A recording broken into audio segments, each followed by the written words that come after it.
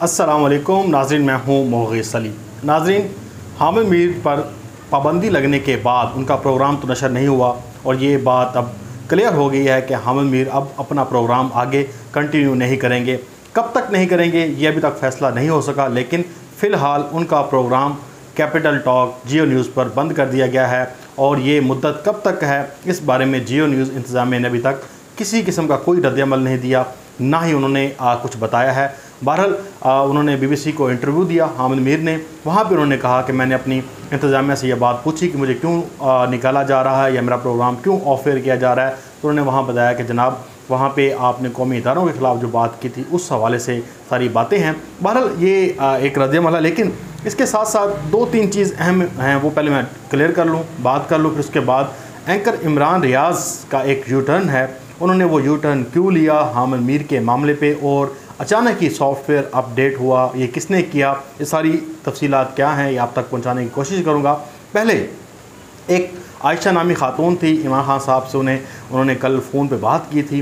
जैसे आपको पता है कि प्राइम मिनिस्टर लाइव आते हैं, लोगों के मसाइल ना सिर्फ़ सुनते हैं, बल्कि उनको हल भी कराते हैं। और अब उनके पाँच लाख रुपए जो उन्होंने पुलिस वाले ने उनसे लिए थे, पुलिस वाले का भाई था उन्होंने उनसे पैसे लिए थे। इमाम खान साहब के सामने वो रो पड़ी थी।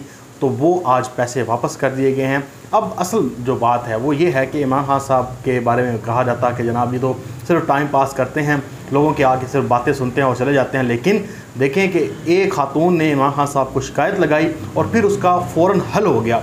और हल जब मामला हुआ तो सब लोगों के जो एक चेहरे थे, वो खुशी से खिल भी उठे कि जनाब एक शख्स को तकलीफ़ थी। उसने प्राइम मिनिस्टर से डायरेक्ट रबता किया और इमरान खान साहब ने फ़ौर कहा मुतल ऑफिसर्स को कि जनाब ये मामला हल होना चाहिए और वो हो गया।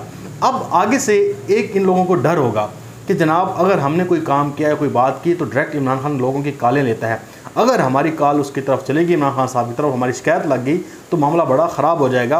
बहरहाल, ये इमरान खान साहब का आवाम के साथ इंटरेक्ट करने का ये बड़ा ही अच्छा तरीका है और उसका अच्छा एक रिस्पॉन्स भी आया और हमने देखा है। और ये बहुत ही, जिसे सराहा जाना चाहिए, जितना भी आप यकीन करें, मुझे जब ये इमरान खान साहब से कॉल पर बात हुई इस खातून की आयशा नामी, मैं ख़ुद बड़ा रंजीदा हुआ कि एक बंदी ने लोन लेकर पैसे दिए हैं और वो लोन उतारती फिर रही है, उसके पास पैसे नहीं हैं और पाँच लाख रुपए की बात है और उसने प्राइम मिनिस्टर से जब रबता किया तो सारा मामला हल हो गया। अब नाजरीन, एक वैक्सीनेशन का मामला है और वैक्सीनेशन के हवाले से हुकूमत ने अपनी तमाम तर तोानाइयाँ सर्फ कर दी हैं, तेज़ कर दी हैं और इस साल का आखिर तक सात करोड़ का हदफ है कि सात करोड़ लोगों को वैक्सीन लगाई जाएगी और ये बड़ी ईद आ रही है, इस पे, इस ईद पे लॉकडाउन ना करने के लिए भी हुकूमत ने फैसला किया है कि वैक्सीन को अमल को तेज़ किया जाए। और अल्हम्दुलिल्लाह, कोरोना के कल जो मरीज़ आज रिकॉर्ड हुए हैं इक्कीस सौ हैं पॉजिटिव केस रिकॉर्ड हुए हैं और 43 जो हैं, वो डेथ थी। यानी कि चार परसेंट तक मामला आ गया है हमारे मुल्क में और बड़ा ही अच्छा हुआ है। अल्लाह ताला करम फरमाए, कोरोना बहुत बड़ा एक ख़तरा बना हुआ था, अभी भी है। ज़ाहरी बात है, भारत में आपने देखा कि कितना उसने वहाँ पे लोगों को इफ़ेक्ट किया, तबाह किया इकॉनमी तबाह होगी उसकी, सब कुछ मामला दड़म परम हो गए। अब नाजिन मैं आ जाता हूँ सीधा इमरान रियाज के ऊपर। इमरान रियाज एंकर हैं, आपको पता है, और ये अपना प्रोग्राम जी न्यूज़ पे करते हैं यूट्यूब पे इनका एक चैनल है। और मैं इमरान रियाज को बजाते ख़ुद अच्छा एक आदमी समझता हूँ, अच्छे साफ़ी हैं। कंपेयर टू इनसे हामिद मीर जैसे टाइप जो लोग हैं, जो मलामती तबका है, उनसे अच्छी और रिजनेबल बात करता है। तनकीद भी करता है अगर इमरान खान की गवर्नमेंट पे तो लॉजिक होती है, लोग उसको पसंद करते हैं कि ये एहतसाब का अमल जारी रहना चाहिए। और जितने भी वज्रा थे, जितने भी लोगों के ख़िलाफ़ उन्होंने बात की, लोगों ने सराहा, और उनके ख़िलाफ़ कोई भी ऐसी बात नहीं की जिससे कि उन्हें दुख पहुँचे कि जनाब मैंने किसी भी ग्रेट साइज़ किया तो लोग मुझे ही तनकीद का निशाना बना रहे हैं। लेकिन हामिद मीर के मामले पर उन्होंने ट्वीट किया तो पूरा पाकिस्तान का सोशल मीडिया उनके ख़िलाफ़ हो गया, कहा कि यहाँ पे आप गलत हैं हमने आपको हर जगह सपोर्ट किया, लेकिन इस मामले पे आप सही नहीं कर रहे। उन्होंने क्या लिखा? उन्होंने कहा कि हम मीर से इख्तलाफ अपनी जगह, मगर मुबैना तौर पर इनके चैनल ने उन्हें दबाव की वजह से ऑफेयर कर दिया है। हामिद मीर ने जो कहा, अपने प्रोग्राम में नहीं कहा। बाहर कहा है, जिस पर कानूनी मदद ली जा सकती थी। अगर ऐसा हुआ तो यह हुकूमत और इदारों के लिए शर्मिंदगी का बायस बनेगा। यानी कि हुकूमत और इदारों को इसमें मुलवस कर रहे हैं कि शर्मिंदगी का बायस बनेगा, जिनका लेना देना ही नहीं है। एक अंदरूनी मामला था फवाद चौधरी ने इसके ऊपर ट्वीट की कि यह अंदरूनी मामला है। इंतज़ामिया ने अपने आर्टिकल 19 के तहत एक कार्रवाई की है, किसको रखना है, किसको नहीं रखना, किस, कौन सी टीम में शामिल होगा, कौन नहीं होगा, कौन एंकर उनकी स्क्रीन पे आना चाहिए, नहीं आना चाहिए। ये चैनल्स के अंदरूनी मामला हैं, एक प्राइवेट कंपनी है, वो जो मर्ज़ी करे, किसी सी को रखे, किसी डायरेक्टर न्यूज़ को रखे, किसी मुलाजिम को रखे चपरासी को रखे किसी एंकर को रखे किसी प्रोड्यूसर को रखे किसी एन को रखे जो भी है कॉपी एडिटर है जितने भी वहाँ पे आपको स्लॉट्स मिलती हैं वहाँ पे जो बंदा भी काम कर सकता है वो उनका मामला है। अब इन्होंने कह दिया ये इदारों के लिए और आ, पाकिस्तान की हुकूमत के लिए शर्मिंदगी का बायस बनेगी। फिर उन्होंने जब तनकीद ज़्यादा हुई तो फिर उन्होंने कहा जस्टिफाई करने के लिए कुछ दिन पहले इसी हामिद मीर ने साजिश के तहत कांट छांट करके बनाई गई मेरी वीडियो वायरल कर दी। मुझे मरवाने का पूरा बंदोबस्त कर दिया था, जिसके बाद मुझे कई धमकियाँ मौसू हुई, जिन्हें मैंने रिपोर्ट भी किया, मगर जो आज हुआ इसका फ़ायदा हामी मीर के अलावा किसी को नहीं होगा। हुकूमत और इदारे होश लें, होश के ना खुलने फिर उसके बाद उन्होंने, जब इस पर भी तनकीद हुई तो उन्होंने एक पूल कराया। उन्होंने कहा कि, जनाब, मैं सवाल रखता हूँ, आप जवाब दें ट्विटर पर। उन्होंने कहा कि, चलें, आप पाकिस्तान के मकबूल तरीन प्रोग्राम की बंदिश पर आपकी राय क्या है? हामी मीर को ऑफ़र करने का फ़ैसला कैसा है? तो 80 परसेंट लोग जो हैं उन्होंने अभी तक जो तीस हज़ार नौ सौ चौंतीस वोट पड़ चुके हैं और इसके 80 परसेंट जो हम ये हैं लोग हैं वो कह रहे हैं कि दुरुस्त फैसला है, पाबंदी का और 20 परसेंट ने कहा ये गलत है। यहाँ पे भी इमरान रियाज साहब गलत हो गए। अब जब ये सारी तनकीद इतनी तेज़ी के साथ हुई इदारों के ऊपर दबाव डाला जा रहा है, जी इदारे बंद करा रहे हैं चैनल तो इमरान रियाज साहब के लिए बड़े सुबकी का सामना करना पड़ा। उन्होंने फिर जनाब एक खबर शेयर की, कहा कि जियो न्यूज़ राय के मुताबिक हामिद मीर का प्रोग्राम बंद करने का फैसला उनका अपना है। उम्मीद है कि चैनल अपने फैसले से बाकायदा आगा करेगा। यानी कि पहले उन्होंने कहा कि जनाब, ये फैसला कहीं और से दबाव की वजह से हुआ है। हुकूमत को नुकसान होगा, ये होगा, वो होगा। लेकिन जब पूरी एक लोगों ने कंपेन चलाई, बताया कि भाई ये हुकूमत का इसमें मामला नहीं है तो चैनल का और हमें मीर साहब का मामला है, वो जाने और उनका काम जाने।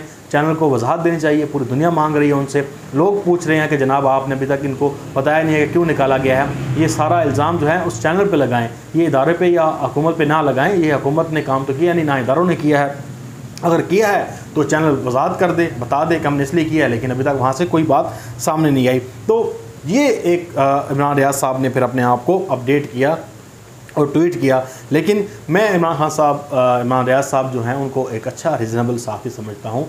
उन, उन्होंने बड़े अच्छे प्रोग्राम किए हैं और करते भी हैं, लेकिन इस मामले पे वो गलत थे और जब उन्हें गलती का एहसास हुआ तो उन्होंने फिर इस चीज़ को यूटर्न लेने के मामले में आके ज़राए से खबर दे दी कि जनाब, उनका अपना फ़ैसला है वो ये है, वो है। लेकिन यहाँ पर इमरान रियाज साहब गलत थे कि हुकूमत इसमें बदनाम होगी, इदारे बदनाम होंगे। देखें, आमिर मीर ने तो अपनी ज़ाहिर बात, उनके पास एक अच्छी फ़ैन फॉलोइंग है। ट्विटर पर भी और उनके अपने एक अलका अबाब है। लोग उनको जो एंटी इस्टेब्लिशमेंट है और एंटी फौज हैं, वो उनको सुनते हैं और वो उनके साथ भी होते हैं। और उन्होंने तो इस चीज़ को कैश कराना है और वो मिलकर कैश करा रहे हैं। इंटरनेशनल इदारे उनके लिए सामने आ गए हैं। पाकिस्तान में लोग ट्वीट्स कर रहे हैं, उनको कर रहे हैं तो ये कैश कराने दें लेकिन मेरा मानना यह है कि ये एक बड़ा ही अहम तरीन कदम था जो पाकिस्तान में उठाया गया है। इसके बाद आप देखेंगे कि मज़ीद कदम उठाए जाएँगे। अब असतूर का मामला ले लें। दो तारीख को हरासमेंट के केस में उनको एफ़ आई ने तलब किया, चार तारीख को कौमी इदारे जो हैं इसकी तजीक के लिए जिन्होंने तजीक की है डेफेमेशन का कोई केस है और डी फेम किया है पाकिस्तान के इदारों को तो उस हवाले से भी बुलाया गया है। तो ये फंदा जो है वो कसता जा रहा है। फिर दो एंकर खातन एंकर हैं। उनके बारे में भी बात चल रही है कि तीन है बल्कि एक मुनिज़ जहांगीर हैं, आसमा जहांगीर की बेटी हैं। उसके बाद जनाब एक गरीदा फ़ारूकी हैं और एक आसमा शराजी हैं। इनके हवाले से बात चल रही है कि ये रेटिंग तो इनकी नहीं आती व्हाट्सएप में इनकी रेटिंग आती है और ट्विटर पर इनकी रेटिंग रहती है, लेकिन ये भी कौमी इदारों के ख़िलाफ़ बहुत ज़रा बात करते हैं। एक रेड लाइन है कौमी इदारे, पाकिस्तान की असास इदारे। इनके बारे में आप बात करें, लेकिन आप खुल के इस तरह से बात ना करें कि जिसके सबूत ही ना हो जिसका आ, कोई सर पाँव ना हो हामिद साहब ने इल्ज़ाम लगा दिया और हामिद साहब झूठ बोलने में अपना सानी कोई नहीं रखते और अब उन्हें सच और झूठ में तमीज़ भी नहीं रहेगी जहरी बात है। और ये खुलम खुला पाक फ़ौज को और पाकिस्तान के साथदारों को ये तनकीद का निशाना बनाते हैं और कोई पूछने वाला नहीं है। लेकिन अब देखेंगे सतूर के ख़िलाफ़ भी अब ये जो फंदा है ये सख्त होता जाएगा और दारे अब हरकत में आ गए हैं। ये पहली आप यूँ समझ लें कि किरण है सूरज की जो अभी पोटी है और इन ताला फिर आगे आपको खुशखबरियाँ मिलती रहेंगी। अपना बहुत सारा ख्याल रखिएगा। अल्लाह पाकिस्तान जिंदाबाद।